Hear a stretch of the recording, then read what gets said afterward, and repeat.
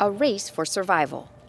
A sea lion is caught in Oregon's Willamette River, tagged, and driven 130 miles to be set free in the Pacific Ocean. But all this effort isn't to save one creature, it's to help protect an entire fish population from extinction. Uh, we're estimating that there's nearly a 90% probability that at least one of the populations in the Willamette could go extinct if predation continues unchecked. That's of all the adults that are returning to the falls there, a quarter of them are getting eaten. Wild winter steelhead and spring Chinook salmon populations in this Pacific Northwest River are in peril. And scientists say these sea lions are to blame.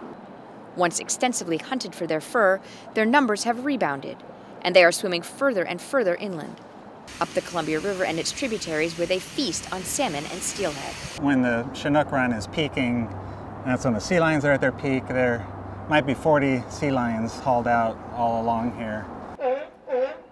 While sea lions are protected under the Marine Mammal Protection Act, the federal government has made special exceptions to help save the fish.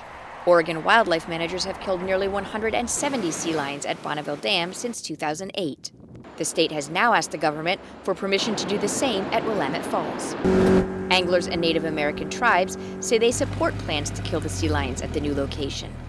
And legislation in Congress currently has the potential to loosen the regulations further. You know, on most most of the days that I'm out here, um, you see so many of these these fish that are killed, and there's some days I see them killed, and they're not even eating the fish; they're just letting them float.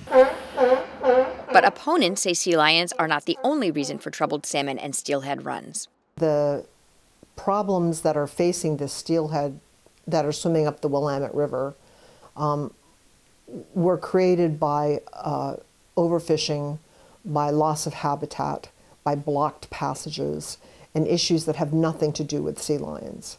If you don't fix the actual problem that faces the fish that's causing the problem, then killing sea lions is, is not going to help.